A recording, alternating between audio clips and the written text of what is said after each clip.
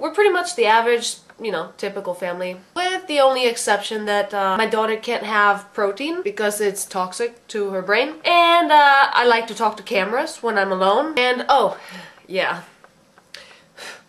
My husband books concerts. And from time to time the phone does tend to ring when I am trying to vlog. Actually, every single time. But this time, I'm gonna let you find out who is calling. Be right back. Hello? Hey, babe? Katy fell asleep. Go ahead and, and eat with them. I can't meet you because Katy fell asleep and um, just bring me something back. And don't feel guilty because while you're gone, I'm gonna go ahead and video blog. Bye, babe. Bye. Hee hee, we have time to be alone together.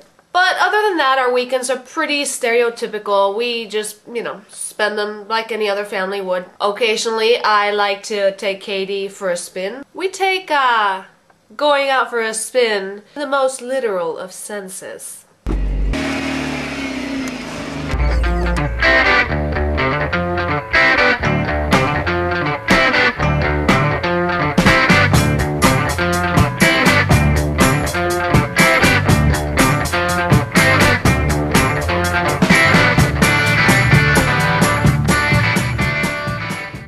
We do differently than most of you is that every four months, my husband, my daughter, and I have to take a trip to go visit our geneticist.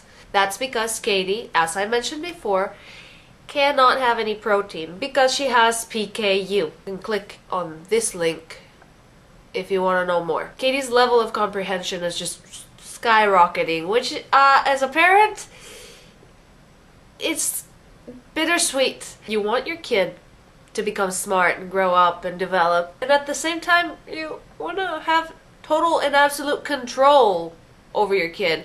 But as they start to develop their personality, you find yourself giving in a little bit more than you originally would have intended. Like this. Who's the boss? Okay. That's pretty cold. It's cold. It's cold. Came out here to check the temperature of the pool and it's absolutely freezing. We decided that we would not get in the pool. But then Katy started throwing a screaming fit. So then I told her, well you have you don't have a swimsuit on. You don't have you're not wearing a swimsuit.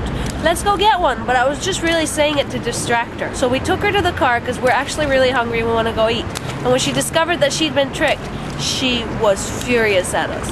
So then Isaac and I felt pretty guilty and here we are in the pool. And of course, we did go see our Dr. Gibson. That's his name, Dr. James Gibson in Austin, especially for Children's Clinic. It was pretty standard checkup. Everything went pretty well. But Katy has learned to despise those ear checkers. I mean, the moment she sees one, she's just ah! But we're back from our trip and we're back to our pretty regular standard of living, and I guess we'll just have to make the most of the rest of our Saturdays.